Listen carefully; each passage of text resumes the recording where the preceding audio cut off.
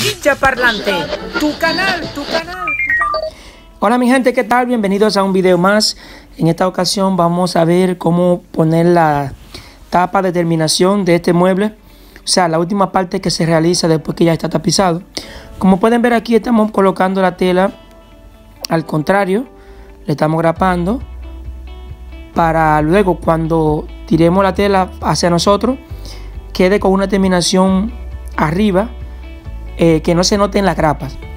Entonces lo que, lo que vamos a hacer es poner un cartón que hemos cortado de 3 cuartos de pulgada encima de la grapa que ya estamos poniendo para entonces eh, poder mover la tela hacia atrás.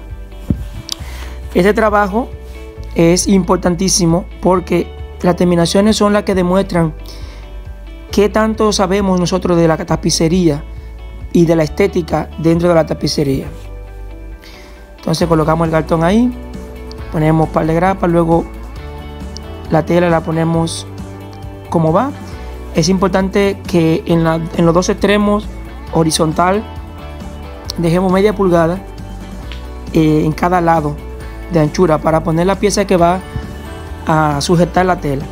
Comenzamos grapando en la parte de abajo en el centro y luego nos vamos a ir grapando hacia las esquinas para lograr que la tela quede bien tensada y con una mejor terminación.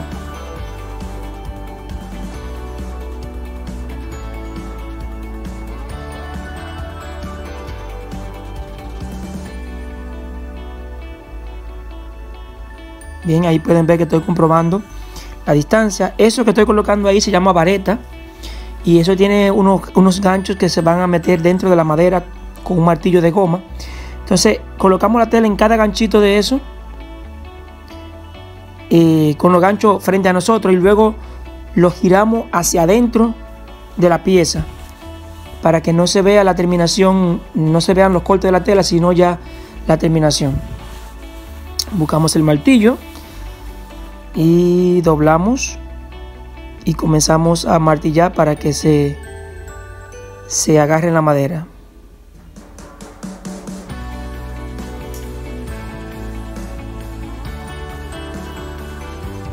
Como pueden ver, ahí estoy bien vestido, bien bonito, porque acababa de llegar de otro sitio, de otro lugar, y me puse de una vez a terminar eso para entregarlo, ese mueble. Son detalles, por ejemplo, ahí yo estoy tomando una pequeña pinza para agarrar la pieza que se me hace más fácil para poder ubicarla bien y poder graparla. En este tipo de trabajo es muy importante la terminación porque es lo que va a hablar de ti y, le va a dar valor a tu trabajo. Colocamos la vareta del otro lado de la misma manera. Por cierto, no olvides suscribirte al canal, darle a la campanita y apoyarnos porque este canal va a ser de mucha bendición para todos nosotros.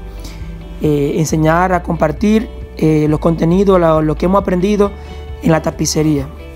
Así que suscríbete, compártelo con tus amigos y apóyanos con tu like y vamos para adelante. Ahí ya vamos, estamos terminando ya esa parte. Luego pondremos la tapa de abajo del mueble que va con otro tipo de tela. Ese tipo de tela que, estamos, que vamos a poner abajo se llama eh, Dacron. También lo conocen como gabardina, también otro tipo de tela que se puede utilizar. Y también hay otro que se llama pelón, que se pueden utilizar para la parte de abajo. A mí me gusta usar la gabardina, que es la que voy a usar la negra porque es más resistente y me garantiza más tiempo en el trabajo.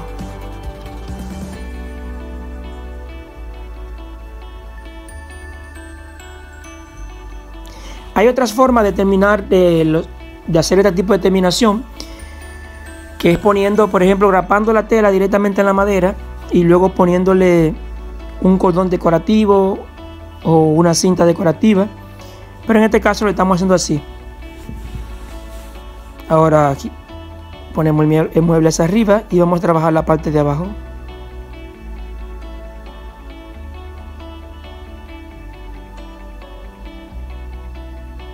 Ahí está la tela. Colocamos la tela. Antes de grapar la, la doblamos bien y la tensamos. Si se dan cuenta comenzamos de la misma manera. Grapamos en el centro y luego nos vamos a las esquinas y tensando bien la, la tela para que quede bien. En este caso yo utilicé dos pedazos, uno que cubre la parte de, del mueble y la otra el brazo. Porque en ese momento no tenía una, una pieza completa, pero eh, no importa, igual está con la misma tela terminada. Cortamos el excedente ahí y doblamos la tela para agraparla, dar la terminación.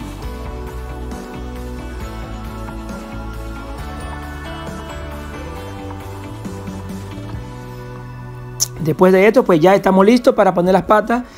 Así que esperamos que este video les guste y que le ayude mucho. Y nos vemos en el próximo video si Dios lo permite.